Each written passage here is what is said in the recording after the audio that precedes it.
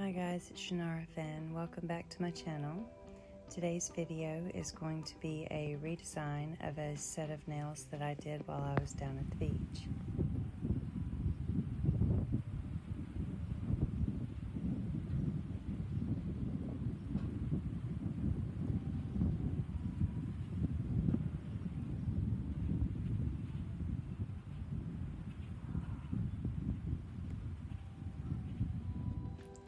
Just before leaving for the beach, I received this package from Nail Career Education.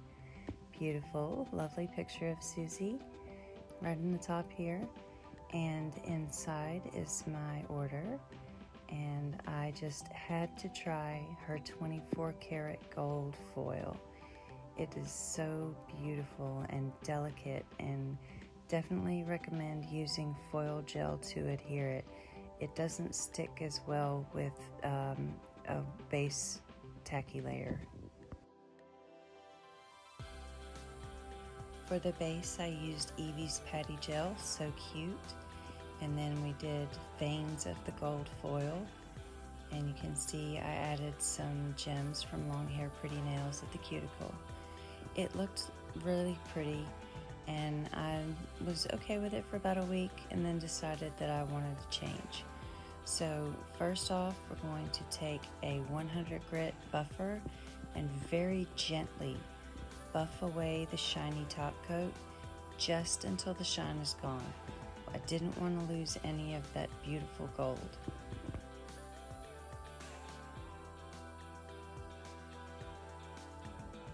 Okay, next I'm going to take my favorite glow-in-the-dark pigments and I'm going to sprinkle them over a very thin coat of Madam Glam's Perfect White. I'm going to sprinkle these over the, the color while it's wet and then cure after.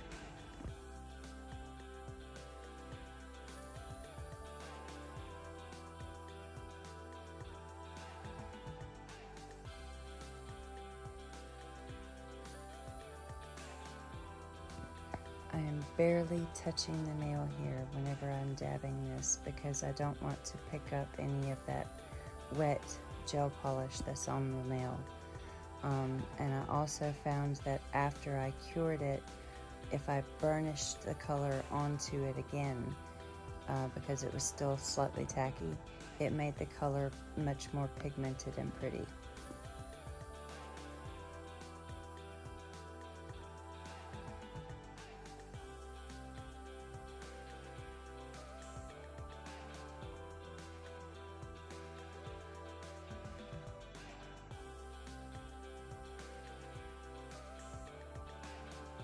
And of course, once I'm done with all of the pigments, I go back with alcohol on a brush and clean up any excess that's gotten on top of the gold veins or on top of my gems.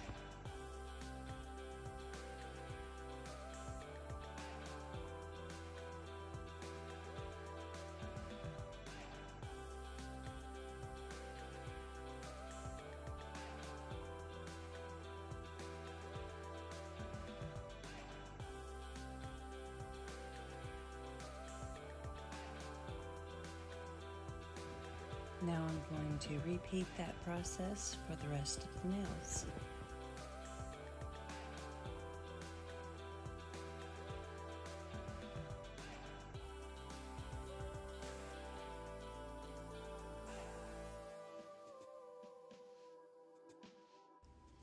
I used a glow-in-the-dark green glitter in this particular spot and it didn't really show up very well against the blue so I ended up going back and dabbing a bit of the yellow on top of it as well to kind of give it a little bit more pop.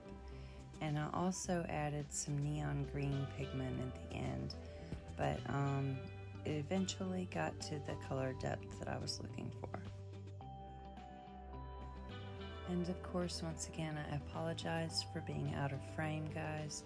I was having issues with my setup.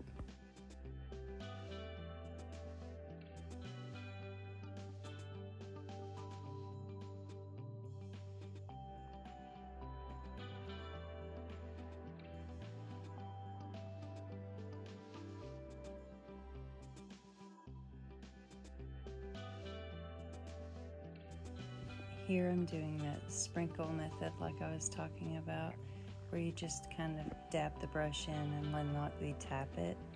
But like I said, it didn't work very well for the orange.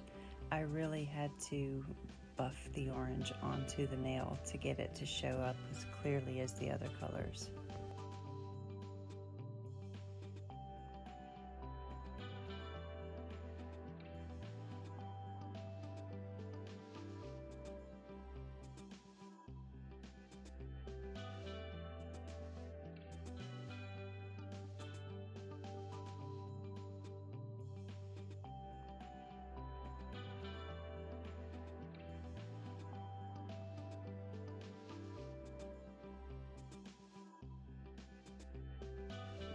As you can see here, I'm very carefully going around all of my gold veins with the white, and it is a super thin coat, just enough to give some adhesion for the uh, pigments.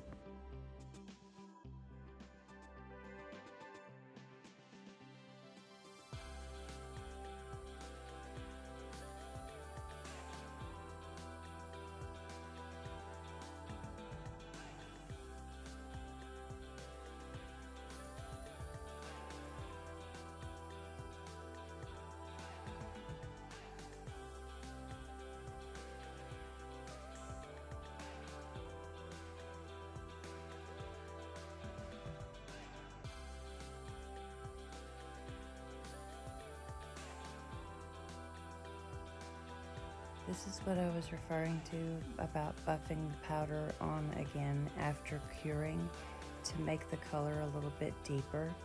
It really helps to make a lot of the bright colors much more pigmented.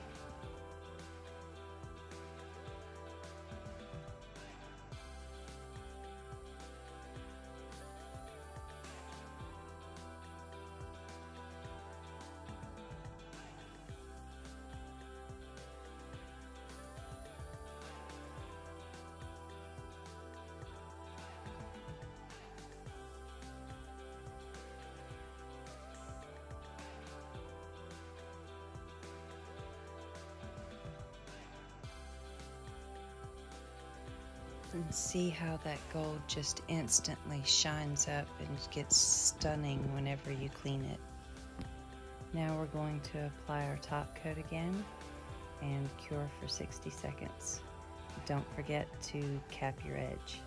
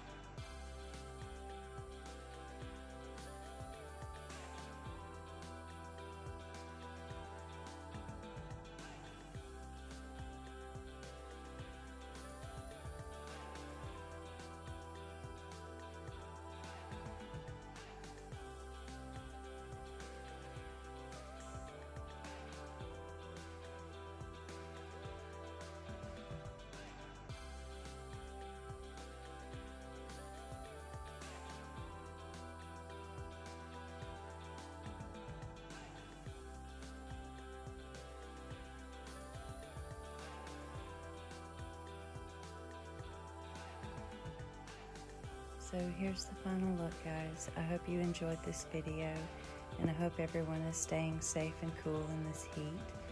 Please um, hit that like button for me and subscribe if you haven't. And I look forward to seeing you in the next one. Have a great day.